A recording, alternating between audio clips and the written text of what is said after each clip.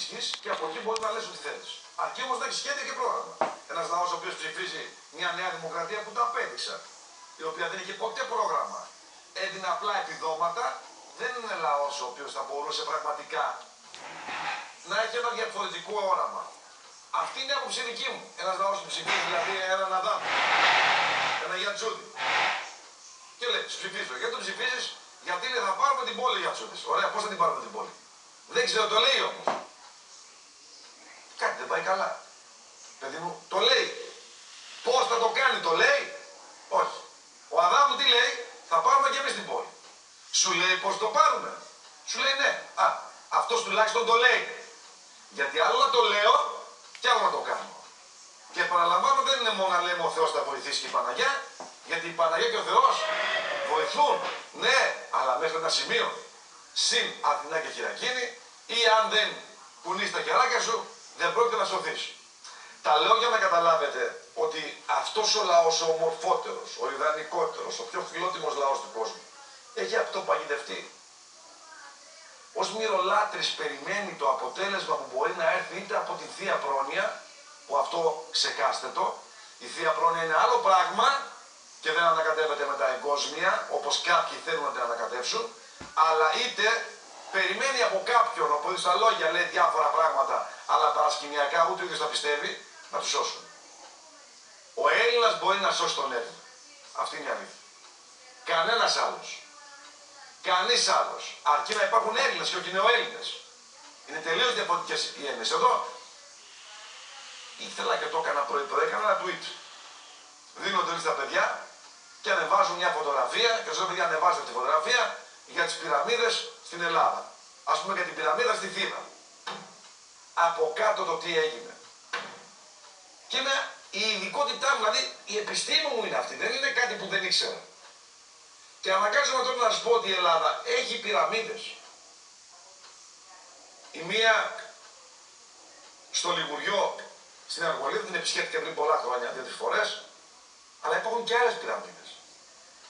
Τις οποίες δεν τις μάθαμε ποτέ, ας πούμε, ο Ξενοφόντα. Ο Ξενοφόντα στο κύριο Ανάβαση. Το λέω έτσι για γελάω. Όταν τελείωσαν και φτάσαμε στη θάλασσα, έκαναν τύμβο, έκαναν πυραμίδα. Αυτό λέει πυραμίδο σχήμα. Πυραμοειδές σχήμα, τεράστιο. Κάτω λοιπόν από το λόφο του Άμφιου, στη Θήβα, στην πόλη μέσα, μέσα στην πόλη, κρύβεται κάτι που αν πραγματικά το ανακαλύπταμε, το αποκαλύπταμε, θα αλλάζει την παγκόσμια ιστορία. Μέσα στη Θήβα. Μερικοί από τους διαπροτέστερους αρχαιολόγους του κόσμου μιλούν για τον μεγαλύτερο τύμβο της Ελλάδος που έχει τη μορφή γήινης πυραμίδος. Λέμε πυραμίδα και νομίζουν οι άλλοι το σχήμα ξέρω εγώ των Αιγυπτιακών. Δεν είναι έτσι ακριβώς. Πυραμίδα. Το άμφιο. Εδώ δεν ξέρουμε βασικά πράγματα. Δηλαδή, αν ρωτήσεις ένα που ξέρει ιστορία και καλά, οι μηνύες ποιοι ήταν δεν θα γνωρίσει. Που είναι προγενέστεροι πολλών. Ή αν ξέρει τον μεγάλο πόλεμο του 8ου, 7ου ου π.Χ. μεταξύ Ερέτριας και Χαλκίδος, που ήταν οι δύο υπερδυνάμεις των αρχαϊκών χρόνων, δεν τα γνωρίζουν. Τους μιλάω για πυραμίδες. Ποιο την ανακάλυψε; Καταρχάς είναι κλιμακωτή πυραμίδα. Ο καθηγητής Πυρόπουλος, ο Θόδωρος Πυρόπουλος, ο αρχαιολόγος 71-73 έκανε ανασκαφές. Η ανασκαφή λοιπόν έγινε το 71-73. Δεν μάθαμε ποτέ τα θάβουν αυτά. Όπως θάψανε και τον τάφο του Μενελάου, στη Σπάρτη έξω. Έξω από τη Σπάρτη φάψανε με κροκάλα, όπως τα ακούτε, επιμεδόνι πάλι. Ό,τι και να γίνει ρε παιδιά 30 χρόνια μενδόνι έχουμε. Ποιος γνωρίζει καλύτερα ας πούμε τα τσανασκαφές; Κύριε Μενδόνι, τα ξέρει καλά. Τα ταξίδια με ψυχής, 12-15 χρόνο. Το Υπουργείο Πολιτισμού ειδικός αυτά Ο Δήμος λοιπόν του Αμφίου είναι στο τέλος της περιοχής Καδμίας Ακρόπολης της αρχαίας Θήβας. Πίσω από το σημερινό αρχαιολογικό μουσείο. Έχω πάει. Εξαιρετικό μουσείο, μικρό βέβαια για το μέγεθος της Θήβας, αλλά και όλης της βιωτίας, αλλά εντάξει. Κομμάτια να γίνει καλό είναι. Η βαθμιδοτήλαξη αυτή πυραμίδα τριών επιπέδων έχει ύψος 33 μέτρων. Πυραμίδα 33 μέτρων. Έχεις πάει εκεί παλαιά μου; Έχεις δει πως είναι ο λόφος εκείνο το πράγμα; Λοιπόν, ε, δεν λέω στην πυραμίδα ρε. Φαίνεται ένα μεγάλο λόφος. 33 μέτρα, δεν είναι 10 μέτρα. Η εξωτερική της όψη δεν θυμίζει πυραμίδα, αλλά έναν λόφο, εφόσον ο χρόνος έχει αφήσει ανεξίτηλα τα σημάδια πάνω στην πυραμίδα. Παρ' όλα αυτά, ένας προσεκτικός μελετητής, ένας που είναι υποψιασμένος, ένας που αντιλαμβάνεται, βλέπει ότι υπάρχει γεωμετρία στον χώρο. Καθώς υπάρχει και η κλιμάκωση των επιπέδων της πυραμίδος. Φαίνεται. Καθηγητής Πυρόπουλος, δεν τα λέω εγώ. Πότε χρονολογείται ίδια περίοδο με την πυραμίδα στο, στο Λιγουριό. Ίδια ακριβώς. 2.700 π.Χ. Αυτό και από μόνο του ανατρέπει τη συμβατική ιστορία. Σας λέω τι λέει ο καθηγητής Πυρόπουλος, όχι τι λέω εγώ.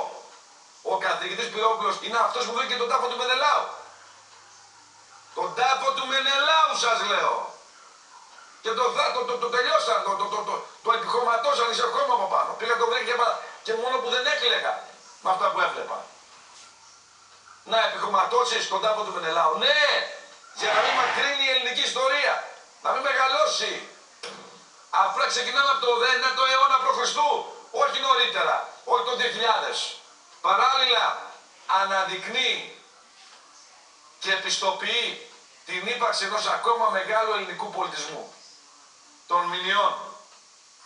Οι μηνύες που αποτυπώνονται φίλες και φίλοι σε πολλά σε γράμματα της αρχαίας ελληνικής γραμματείας και λένε μυθικό πρόσωπο, δεν ξέρουμε ποιοι είναι, που έχει μια σχέση με τη μινοϊκή Κρήτη και τους μίνοες, δεν τυχαία η κοινή ομοφωνία αλλά και ρίζα της λέξεως, δεν είναι μυθική. Μου έλεγε εδώ ο Αδάμου για τον αρχαιολογικό χώρο στην περιοχή που πήγες πάει, πού έχει πάει, ρε, και τον τεράστιο αρχαιολογικό χώρο. Πώς το είπαμε, Βλά. Μπράβο. Βλά, άκουσα και τι βλά. Στην Ακρόπολη του Γλά. Οι μηνύε είναι πάλι εκεί. Ένας λαός μυθικός που πλησιάζει το 3.500 π.Χ. Δεν πρέπει να είμαστε περισσότερο από το 1800 π.Χ. 900. Όχι. Δεν πρέπει. Βρίσκουν στο Δημήνη στην Καστοριά την πρώτη γραφή. Τα πρώτα γράμματα φαίνονται ξεκάθαρα. Και τα λέει ο Χρυμουζιάδης, ο καθηγητής, ο οποίος, επαναλαμβάνω, ήταν αριστερός, κομμουνιστής. Δηλαδή διεθνιστής, δεν είναι μιλιταριστής, σοβινιστής. Και τους λέει, παιδιά, υπάρχει γραφή. Βλέπω το α, βλέπω το ε, βλέπω τα γράμματα, λέει πάνω στη γραφή. Ε, ωραία, Τι είπα, Δημήνη είπα. Όχι. Δημήνη στο δυσπηλιό είπα. Δυσπηλιό. Δημήνη και εσάς είναι αλλού. Μαγνησία. Σύμφωνα λοιπόν με τις περιγραφές του κ. Σπυρόπουλου, έφορος αρχαιοτήτων, η πυραμίδα στο εσωτερικό της είναι πανέμορφη. Μπήκε μέσα ο άνθρωπος. Μπήκε μέσα στην πυραμίδα ρε παιδιά. Ξυπνήστε ρε επιτέλους. Σας δουλεύει ο κάθε ανόητος, το παίζει Ελληναράς. Μπήκε μέσα ο άνθρωπος. Υπάρχει μέσα σε αυτή ένα τεράστιο δίκτυο από σύραγγες ύψους 5 μέτρων και πλάτων, πλάτος ενός 80 μέτρων. Ενώ η οροφή είναι καμαρωτή. Καμάρα. Άρα καταλήπτεται και ένα άλλο επιχείρημα ότι τις καμάρες πήραμε από τους Ρωμαίους. Έτσι λέμε, στις γέφυρες. Ουσιαστικά, λέει ο καθηγητής, είναι ένας λαβύρινθος. Στον τάφο βρέθηκαν ανθρώπινα οστά, κοσμήματα τα οποία έχουν χρονολογηθεί στους πρωτοελλαδικούς χρόνους, δηλαδή 2700-2400. Ποιος μπορεί να είναι θαμένος εκεί, Μπορεί να είναι ο Κάδμος, λέω τώρα. Η πυραμίδα του Αμφίου προσκρούει στην εδρεωμένη θεώρηση ότι στην Ελλάδα δεν υπήρξαν καθόλου μνημειώδεις ταφικές κατασκευές πριν τους Μικυναϊκούς χρόνους 1550-1200. Δηλαδή, πας εγώ στις Μικίνες, που και πάλι λάθος είναι το όνομα. Λένε Μικίνες, Μικυναϊκός πολιτισμός. Δεν